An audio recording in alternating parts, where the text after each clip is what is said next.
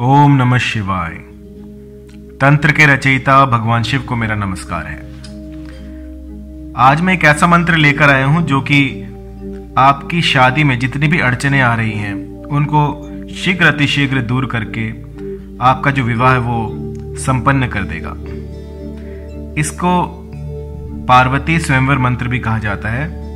माँ भगवती के इस मंत्र से विवाह में जितनी भी अड़चने आती हैं, जितनी भी मुश्किलें आती हों, चाहे कोई कन्या हो जिसका विवाह ना हो रहा हो, कोई भी अड़चन आ रही हो, वो इस मंत्र का पाठ कर सकती है।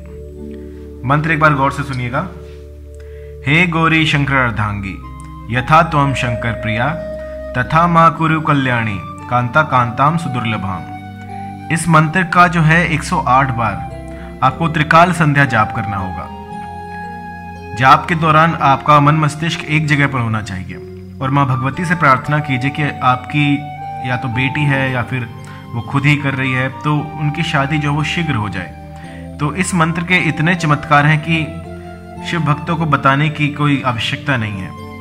वे स्वयं जानते हैं कि इस मंत्र से हफ़्ते भीतर रिश्ते आने शुरू हो जाते हैं और जो विवाह है उसमें कोई अड़चन नहीं आती।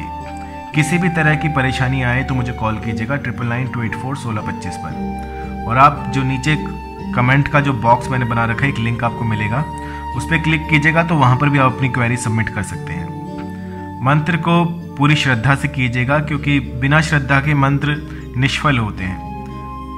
गीता में भगवान श्री कृष्ण ने भी कहा है कि जो मंत्रों में अपनी श्रद्धा नहीं रखते, वो असत का काम करते हैं। मतलब कि अगर आपके अंदर विश्वास और इनके प्रति लगाव नहीं है तो आप इन इस कर्म को ना कीजिए, क्योंकि इस कर्म में सबसे महत्वपूर्ण होता है विश्वास।